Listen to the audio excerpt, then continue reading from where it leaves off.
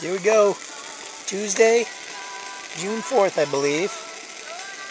And it's uh, chilly night on Crooked Lake. We're just first campsite south of Big Current. Big Current is right up there. We're the first campsite south. We've been catching a few fish off the campsite. I lost a big northern. Troy caught a pretty big walleye, like 27 quarter inches, which is on the previous video if you're watching these videos. I'll show you. The black flies are kind of bad. Look at them swarming around Jim's head over there as he does his Sudoku.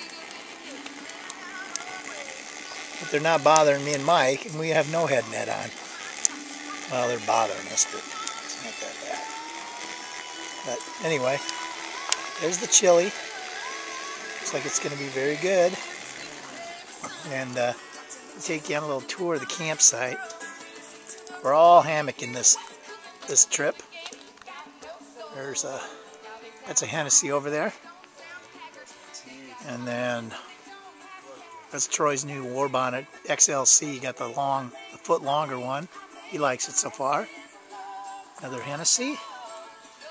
And then uh, this one over here is mine. This is the uh, it's a Warbonnet also. I got my I got a different tarp though. I have a Lux Outdoors tarp that I use on it.